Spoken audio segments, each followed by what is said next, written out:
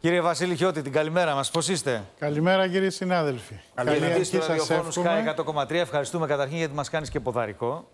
Και επειδή είσαι και γουρλής, από ό,τι ξέρω. Είμαι, έτσι λένε οι φήμες, ότι είμαι.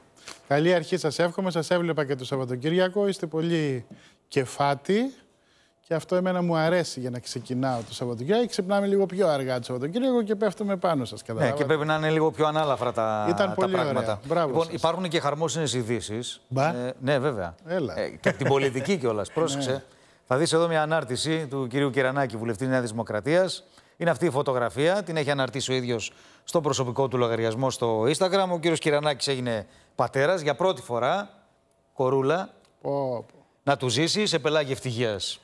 Ο Να τους άνθρωπος ζήσει και έτσι. σε τέτοιες, ε, τέτοιες είναι οι στιγμές που μου αρέσει εμένα να βλέπω των πολιτικών μας, εκεί που βγάζουν το κουστούμι και με μια μαύρη φανέλα αγκαλιάζουν το παιδάκι τους που έρχεται στη ζωή και νομίζω ότι αυτό είναι και το νόημα της ζωής Βέβαια, τελικά. α- από το μεευτήριο πρέπει να πάει κατευθείαν στη Βουλή. Δηλαδή, σε λιγότερο από μία ώρα, σε 45 λεπτά, ξεκινάει στη Βουλή ζήτηση για την σύσταση εξεταστικής Ναι. επιτροπής και θα και η ψηφοφορία το βράδυ. Δηλαδή. Εντάξει, βέβαια δεν είναι κρίσιμη η ψήφος της Νέας Δημοκρατίας, διότι έχουν αποφασίσει να ψηφίσουν παρόν.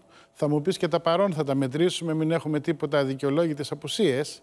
Αλλά δεν έχει σημασία τι θα ψηφίσει η Νέα Δημοκρατία. Η Νέα Δημοκρατία, η κυβέρνηση, μάλλον έκανε την επιλογή να αφήσει την αντιπολίτευση μόνη της να αποφασίσει.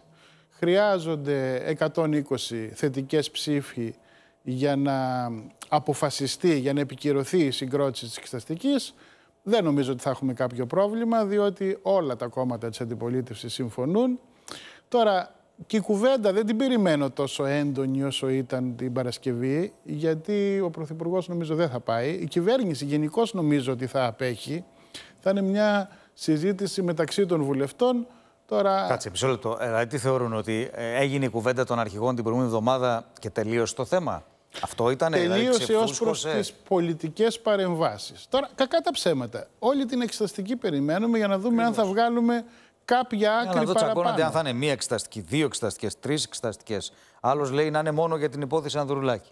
Άλλος να είναι και του ΚΚΕ οι συνακροάσεις. Ναι. Άλλος λέει να πάνε. Η Νέα Δημοκρατία νομίζω το λέει. Να ξεκινήσει 12. η έρευνα από το 2012 μέχρι σήμερα. Ε, ωραία. Όλα αυτά θα τα βρει η εξεταστική. Έχω την αίσθηση ότι από το 2016 και μετά υπάρχει σχεδόν ομόνια, δηλαδή ομοφωνία. Ε, το αίτημα του ΚΚΕ το έχει επικροτήσει και το Κινάλ και ο ΣΥΡΙΖΑ, άρα από το 2016 θα αρχίσει. Τώρα, η κυβέρνηση επιμένει από το 2012 και θέλω να πω για όσους ξεχνούν τις κοινοβουλευτικές διαδικασίες ότι όταν θα συγκροτηθεί η Εξεταστική Επιτροπή πλειοψηφία θα έχουν οι βουλευτές της Νέας Δημοκρατίας. Έτσι προβλέπει ο κανονισμός της Ναι. Βουλής. Ναι, ναι, βέβαια. Άρα, αν το θέσουν στην Εξεταστική Επιτροπή, θα το πάρουν. Και νομίζω ότι δεν, δεν βλάφτηκε τίποτα. Αν υπάρχει κάποια υπόθεση που πρέπει να διερευνηθεί στην περίοδο 2012-2016, θα το δούμε. Ναι, ε, Μετά βέβαια, το 2016 Αν αρχίσει και νομίζω- ξεχυλώνει το πράγμα, ξέρεις, θα χάσουμε και την ουσία. Αυτό είναι αλήθεια. Δηλαδή η Αλλά- ουσία τώρα ποια είναι; Είναι το, το θέμα που έχει προκύψει με την τελευταίο. ε, επισύνδεση, πώς το λέμε, με του τηλεφώνου του κυρίου Ανδρουλάκη. Ναι, Αυτή αλλά είναι. έχει ξεκαθαρίσει αρκετά. Άκουγα και τον κύριο Γεραπετρίτη, τον Υπουργό Επικρατείας στο ραδιόφωνο της ΚΑΙ το πρωί, που έλεγε ότι έγινε μια παρακολούθηση που κακώς έγινε και δεν προέκυψε τίποτα σημαντικό από την παρακολούθηση, διότι αν προέκυπτε θα το γνωρίζαμε ως πληροφορία. Άρα εδώ τι έχουμε; Έχουμε ένα γκολ, ένα αυτογκολ, όπως θες πες το, το οποίο δεν αλλάζει. Το σκορ είναι 0-1 για την κυβέρνηση, διότι αυτό δεν αλλάζει. Παρακολουθήθηκε ένας πολιτικός αρχηγός για λόγους που δεν φαίνεται να ήταν σημαντικοί. Και δεν προέκυψε και κάτι σημαντικό από ό,τι λέει ο κύριος Γεραπετρίτης. Άρα αυτό το κομμάτι έκλεισε. Μάλλον δεν έκλεισε. Έχουμε να μάθουμε πράγματα. Κάτσε, ο- ο- αλλά ο- πολιτικά... Ο η- Καθήλυν ενδιαφερόμενος δεν έχει μάθει ακόμα. Ναι, θα δηλαδή, μάθει. εγώ αν, αν, μου, αν είχ- μου είχαν πει ότι σε παρακολουθούμε, θα πήγαινα κάποιον να ρωτήσω κάτι. Ρε παιδιά, γιατί με παρακολουθείτε; Εντάξει, ο ίδιος ναι, δεν αυτό πάει, είναι- είναι σεβαστή η επιλογή του. Ε, Ο Πρωθυπουργός την Παρασκευή είπε ότι αν δεν πάει, αν επιμένει ότι δεν πάει, έχει δύο δρόμους. Ή να διεκδικήσει να μάθει από τα δικαστήρια στα οποία θα παράσχουν πληροφορίες οι αρμόδιες αρχές ή στην εξεταστική που προφανώς όταν, ρωτή, όταν έρθει ο πρώην διοικητής της ΕΕΠ θα το ρωτήσουν γιατί τον παρακολουθούσες, Ναι. από πού ήρθε το αίτημα, τι αιτιολογία υπήρχε; Όλα θα αυτά απαντήσεις ξέρεις σε τώρα, αυτά. τα συζητάμε εμείς, αλλά έχει ενδιαφέρον να δούμε λίγο και τι αποτύπωμα έχουν και στην κοινωνία. Αυτό είναι το πιο Α, σημαντικό. εκεί, για- ακρι- και εγώ, θέλουμε εκεί σχόλιο. ακριβώς αναφέρομαι.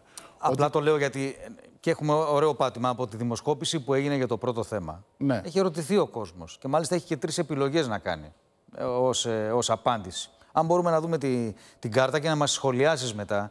Γιατί έχει ενδιαφέρον να δεις πώς ιεραρχεί ο, ο, ο κόσμος, οι πολίτες, Τα προβλήματά τους και τα θέματα και τα που μεγάλα πραγματικά τον, ε, τον απασχολούν. Εδώ βλέπουμε την, ε, τη σχετική κάρτα. Λοιπόν, για να δούμε γιατί είναι και λίγο μακριά και δυσκολεύομαι να το διαβάσω. Η ακρίβεια λέει το 84,2% έτσι. Ε, ξαναλέω, έχουν έως τρεις απαντήσεις να δώσουν. Η ακρίβεια ανατιμήσεις, ο δύσκολος χειμώνας που έρχεται είναι το πρώτο θέμα που απασχολεί τον κόσμο. Εθνικά θέματα ελληνοτουρκικά 36,4%, εγκληματικότητα φαινόμενα βίας 30,2%, Ουκρανία 26,3%, πανδημία κτλ. Τελευταία επιλογή από τις τρεις που είχαν στο 16% είναι η επιλογή για, το, για την υπόθεση των υποκλοπών. Δηλαδή που αφορά το σχολιάζουμε και τώρα. πολιτικό σύστημα εν ολίγης και είναι ένα σοβαρό θέμα, αλλά δεν αποτυπώνεται η σοβαρότητά του και στο τι απασχολεί τους πολίτες. νομίζω ότι απηχεί και κατά τη δική μου γνώμη την πραγματικότητα. Δηλαδή, η υπόθεση των υποκλοπών είναι μια υπόθεση που μας κινεί το ενδιαφέρον. Την παρακολουθούμε, αλλά δεν κοιμόμαστε και ξυπνάμε με αυτή την έγνοια. Προφανώς. Και επίσης, ε, επειδή γίνεται πολλή κουβέντα και για το, το τι πολιτικό αποτύπωμα αφήνει, δηλαδή πόσο βαρύ θα είναι το κόστος για την κυβέρνηση. Πιστεύω ότι ο ψηφοφόρος που είναι ψηφοφόρος της Νέας Δημοκρατίας ή συμπαθών προς τη Νέα Δημοκρατία ελάχιστα τον απασχολεί.